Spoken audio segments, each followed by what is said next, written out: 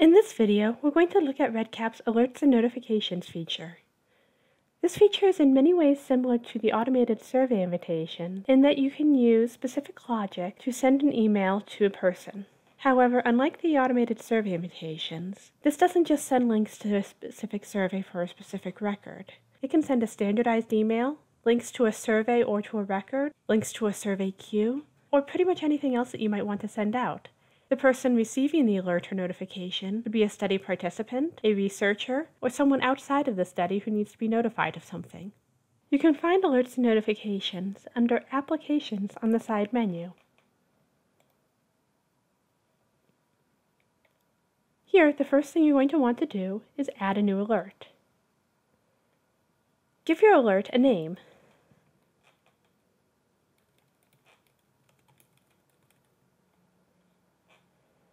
Then you're going to choose what's going to trigger the alert. You have three different options here.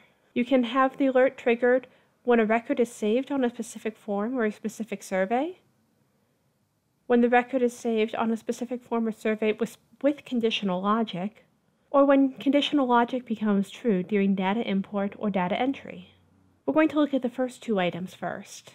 If we want this alert to be triggered whenever the consent form is completed, then I'm going to leave it with when a record is saved on a specific form or survey. And here I'm going to choose my consent form, and I can say if it's saved with any status or if it is saved with complete status only. Then I'm going to choose when to send the alert. I can have the alert sent immediately as soon as the consent form is completed, on the next day, weekday, weekend day, or a specific day of the week at a specific time. After a lapse of time, so perhaps I want to receive this notification two weeks later, 14 days, or at a specific date and time. I'm also going to choose how often to send this alert. I can choose to send it just once, that's once per event and, or once per instance for a longitudinal or repeating instance, every time the former survey is saved, or multiple times, Send every two days after it's initially sent.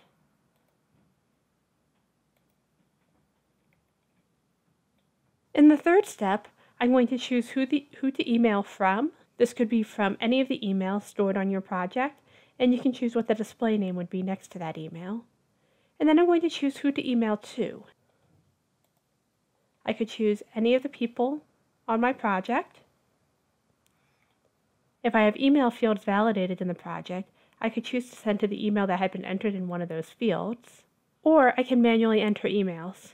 So if the email I need is not listed on either the list of project member emails or the list of participant emails, I could choose to manually send to a specific person.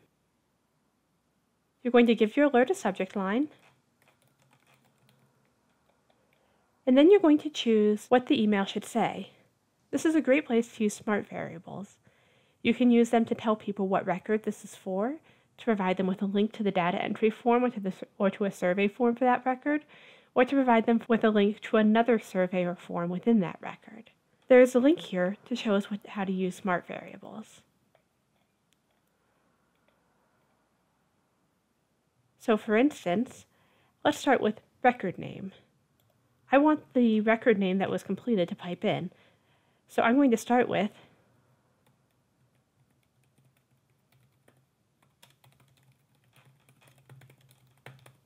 Whatever the record name is for this particular record that triggered the alert will automatically fill in where it says record name.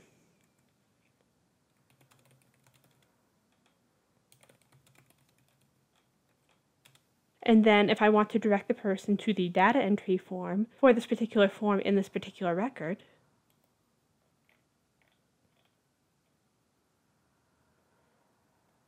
I can use the form URL instrument or the form link instrument to do that.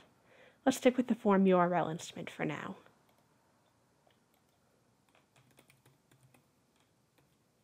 And I can get the instrument name very easily in the code book. The instrument name will always be displayed at the top of the instrument section in parentheses.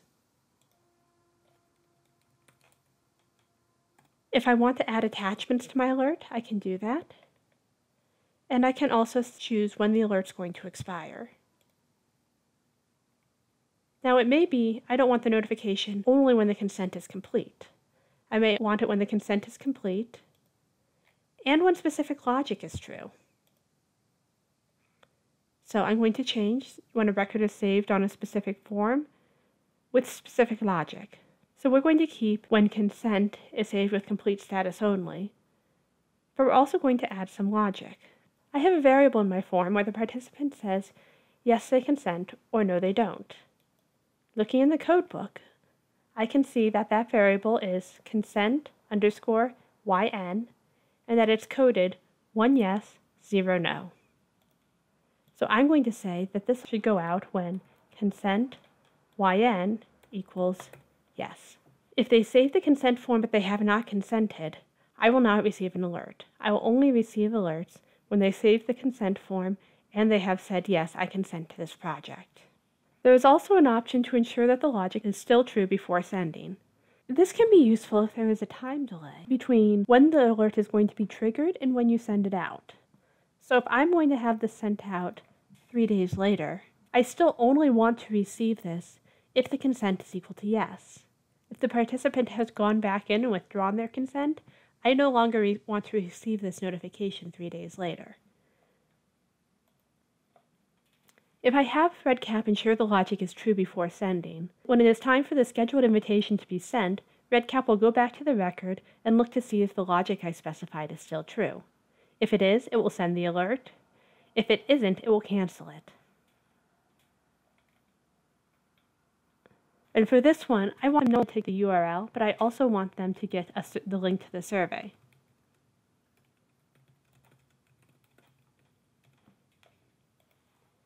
So when we go down, we can see I can get links to the survey URL, get the survey link, and I can also get links to the survey queue if I want to. For this one, I'm going to use the survey link. So here I'm going to use a smart variable survey link, the instrument name, and then the text that I want it to display as the clickable link.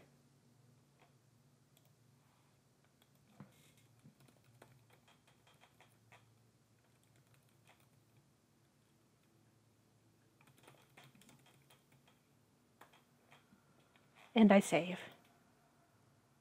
The third type of notification is based solely on logic.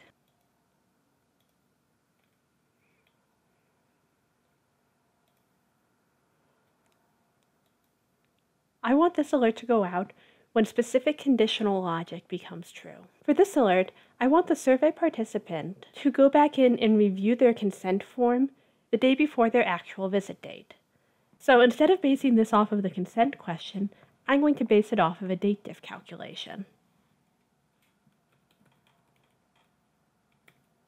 So I'm going to look at what the visit date is and have REDCap compare it to what today's date is. Then I'm going to say I wanted to look at that difference in days and that the visit date is in month, day, year format. And I wanted to send this notification then when there's a difference of one day between today and the visit date. And then I wanted to send immediately. You have to be careful with the ensure logic is still true when you're using a date diff. If I was still sending this after a lapse of three days, and I had this ensure logic is still true checked, I would have a problem. Because it is three days later, the date difference between today and visit date would no longer be 1, and therefore the logic would no longer be true and REDCap would cancel the invitation. When you're using these kinds of date diffs, it is better to either uncheck the ensure logic is still true, or to use a date diff that calculates out so that you can send immediately. If your date diff isn't strictly equal to a specific number, but is, for example, within a range or greater or less than a certain number, you have a bit more leeway with delaying the invitation than you do if it's equal to an exact number. So for this one, because I want to send it to a participant, I'm going to go down to my email field and have it send to the email that was entered into that field. And this time, I'm going to send them a link to their survey queue as well.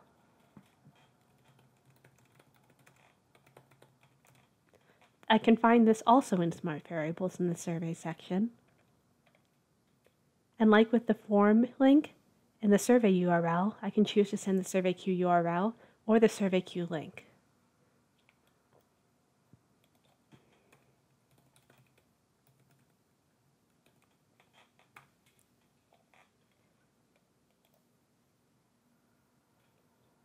Now that we have our alerts built, in a real project we would want to test them exhaustively to make sure they work exactly how we want them to.